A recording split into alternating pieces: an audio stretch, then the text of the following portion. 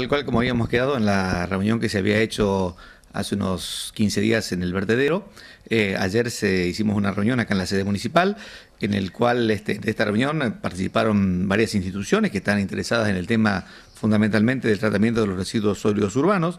Lo que se hizo es, bueno, justamente una nueva explicación, porque había gente que no había estado en la reunión anterior, del, proyecto del municipio que se está llevando adelante, o sea, eh, lo que es la separación en origen, el tratamiento en la planta de reciclado, la planta de transferencia, la posterior el posterior desarrollo de la nueva cava que estamos este, teniendo a disposición en el, en el sector oeste de la ciudad. Bueno, hecho toda esta esta introducción, digamos, este, un interesante intercambio entre distintos integrantes de las distintas instituciones que estaban presentes, todos con ánimo de sumar a este proyecto, así que hemos establecido una mesa de trabajo que en principio se va a estar reuniendo los días lunes a las 20-30 horas, es el horario que, medianamente hemos quedado convenido. Eh, ya eh, la próxima reunión va a ser una reunión más, más específica, más técnica, o sea, con, con algunos representantes de cada una de las instituciones que, que bueno, que voluntariamente se, se, interesaron en este tema. Eh, estamos ya trabajando como se había quedado en la otra reunión. Eh, la idea es el primer sábado de octubre, eh, junto con el CAPA, que es el que normalmente organiza estas, estas recolecciones en la zona céntrica de la ciudad. Bueno, la idea es, si bien hay algunas opiniones que todavía no están del todo consensuadas, pero la idea en principio es hacer una, el próximo, el primer sábado de octubre, eh, es hacer un, trabajo en conjunto, digamos, un poco como lanzamiento de este tema, pero eh, fundamentalmente el tema, Miguel, creo que lo importante es que eh, todo el mundo que está participando está interesado en, en, colaborar y en sumar a este proyecto, en el cual obviamente la, la, línea es la que está fijada, después puede surgir alguna cuestión técnica en cuanto a cuestiones operativas, que son las que queremos ir ajustando entre todos para que por ahí la opinión de todos este, haga que el sistema funcione mucho mejor. Y fundamentalmente la, información que le transfiramos a los eh, ciudadanos, que son los que van a ser, en definitiva, los que van a determinar el éxito de este trabajo. Eh, el, aporte fundamental del ciudadano es la separación en origen, que es lo que va a dar este, el sustento a este sistema. La campaña de concientización, eh, que es un poco lo que preocupa ahora, concientizar a la población. está, ¿Cuándo comienza a ser efectiva realmente? Bueno, en principio la semana que viene vamos a tener gente del INTI que va a estar capacitando eh, a las personas que van a estar visitando eh, puerta a puerta, digamos, los distintos domicilios eh, para dar la información. Eso va a ser por un lado. Por otro lado, un tema que también estuvimos charlando ayer es el tema de colegios, o sea, va a haber otra línea de trabajo orientada a trabajar con los chicos en los colegios, o sea que la, idea es que la campaña va a empezar este, en los próximos 15 o 20 días o a lo sumo fin de septiembre, en forma ya, digamos, este, intensa y masiva, y va a estar este, orientada en varios frente. O sea, uno va a ser el puerta a puerta, otro va a ser el, el, tema de colegio y por supuesto utilizando como, como estamos haciéndolo de esta manera los medios de comunicación para llegar a la mayor cantidad de gente posible. Eh, de hecho, sabemos que es un tema que eh, hay que apelar a la concientización, un tema que va a llevar un cierto tiempo. Obviamente que tenemos, todos tenemos que trabajar para que el tiempo sea el menor.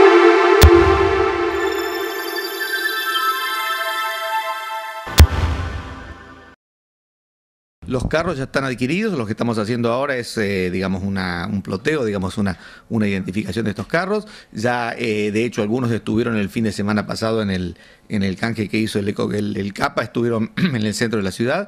Eh, esto va a salir en conjunto, o sea, cuando largamos con la campaña de, de, difusión, obviamente vamos a tener todos los elementos necesarios. O sea, lo peor que podemos hacer es largar una campaña y no tener los elementos. O sea, estamos esperando a terminar de tener todos estos elementos ya en condiciones. De hecho, también tenemos algunos tractores nuevos que hemos adquirido que los vamos a poner también a, a esta función. Una vez que tengamos todos estos elementos, por eso estoy hablando que será este, dentro de 15 o 20 días o a lo sumo fin de mes, eh, largamos en conjunto la campaña con los elementos para que la gente que se pare vea que realmente su residuo es retirado en forma separada, que eso es lo que este, es la contrapartida que le tenemos que dar al vecino.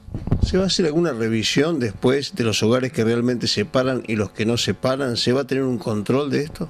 Sí, sí, sí, fundamentalmente esto, eh, hay dos etapas en esto, una es la etapa de concientización, la etapa de explicación, eh, y la otra después puede llegar a ser, que es un tema que también se analizó ayer, una situación en la cual este, bueno, se pueda establecer un sistema de premios o castigos de acuerdo a lo que, a lo que determine una futura ordenanza, pero en el cual eh, uno este, esta situación la pueda llegar a ser obligatoria, pero no queremos llegar a esa etapa todavía. Yo creo que es lo fundamental y estamos seguros de que va a haber una importante colaboración de la gente porque lo estamos notando. De hecho, eh, ya esta primera información que se está lanzando, estos primeros boletines que estuvimos distribuyendo, están generando en la población una cierta inquietud en el tema. Eso es bueno, lo estamos notando ya en, muchas consultas que se están recibiendo.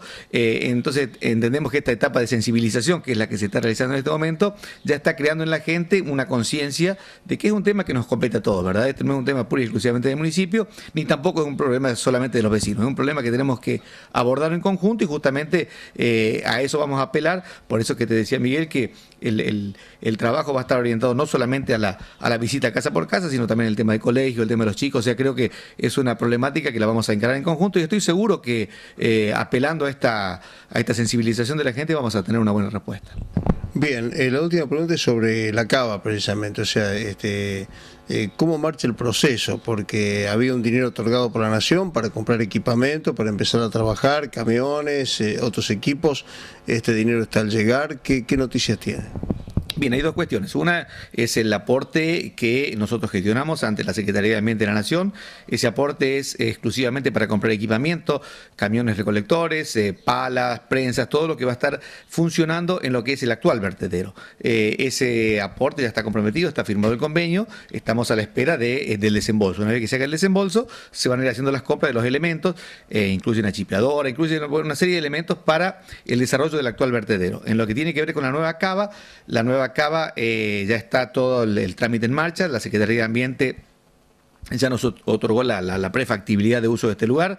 Simplemente lo, que está sucediendo es que eh, este predio es parte de un campo mayor, de, una superficie mayor. O sea, los dueños actuales están terminando el trámite de la subdivisión de este predio.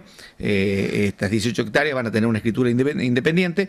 Una vez que se termine ese trámite, que es un trámite que están haciendo los dueños del campo que se vendió, una vez que se termine ese trámite, automáticamente van a hacer ellos la la donación al municipio para ese uso. Una vez que aceptemos la donación y que eh, tengamos posesión del terreno, bueno, ahí vamos a empezar a trabajar. O sea, en realidad hoy todavía no tenemos eh, firmada la documentación respectiva para tomar posesión del terreno.